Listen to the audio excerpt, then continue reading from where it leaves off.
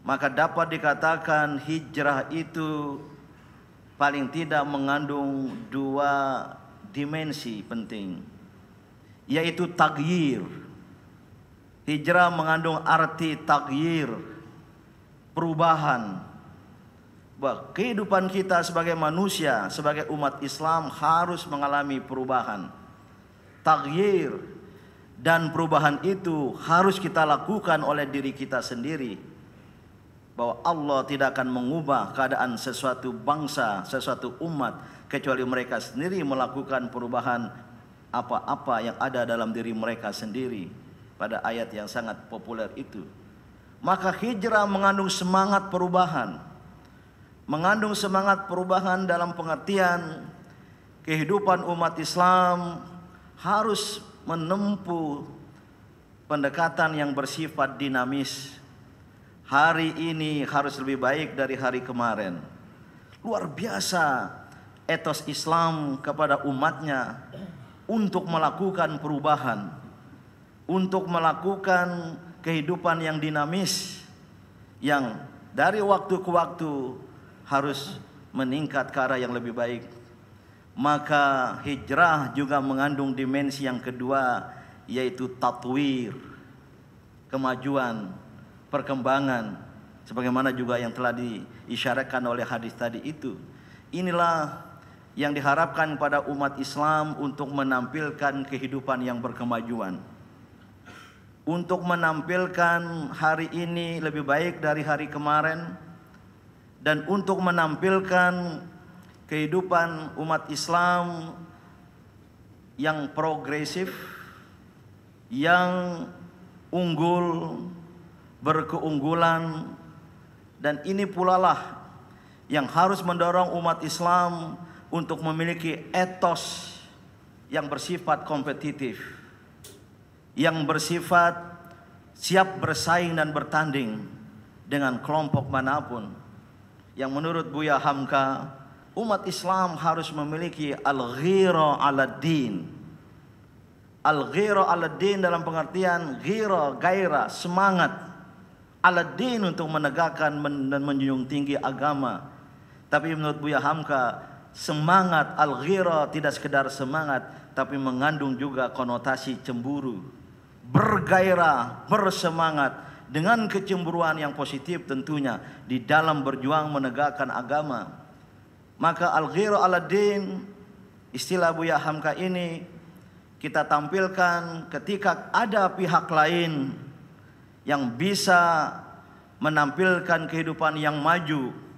Katakanlah membangun gedung yang mewah, megah, tempat-tempat ibadat yang lebih besar, universitas-universitas yang lebih maju, maka seorang muslim tidak harus datang ke sana dengan api membakar atau dengan batu melempar merusak hanya karena kecemburuan buta.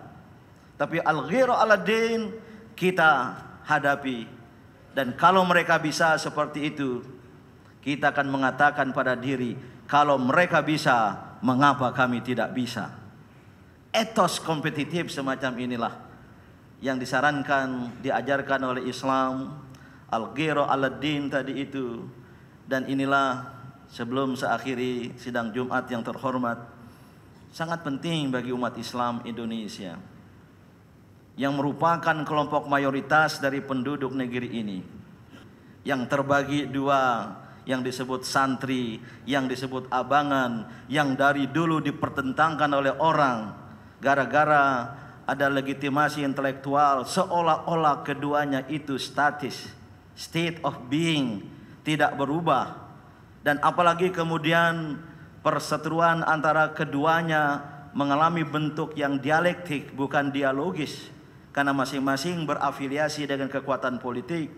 Yang santri berafiliasi dengan kekuatan-kekuatan politik yang menggunakan nama Islam, partai-partai Islam, yang abangan berafiliasi dengan partai-partai yang tidak menggunakan nama Islam. Ini sungguh merupakan malapetaka bagi umat Islam Indonesia. Yang kita sebut sebagai kelompok mayoritas tadi itu terdiri dari mereka semua itu dan ini menjadi sasaran empuk bagi penyiaran agama lain khususnya yang disebut dengan kelompok abangan itu.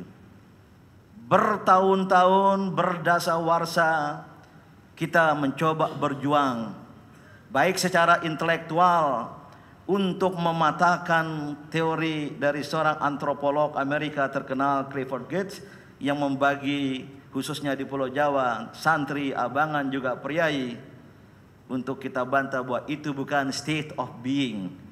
Bukan sesuatu yang statis tapi state of becoming yang boleh jadi berubah.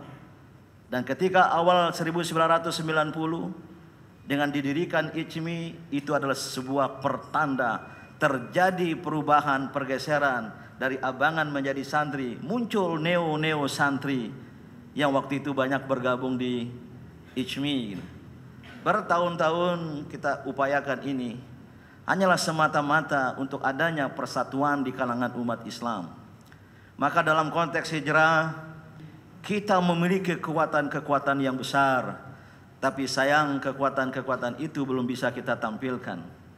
Tidak enak mendengar kritik dari orang luar tentang umat Islam Indonesia. Wertheim dari Belanda pernah menyindir bahwa umat Islam Indonesia hanyalah majority group with minority mentality kelompok mayoritas tapi dengan mentalitas minoritas. Suka atau tidak suka, setuju atau tidak setuju, kira-kira menurut dia umat Islam yang banyak itu sesungguhnya bermentalitas kaum minoritas.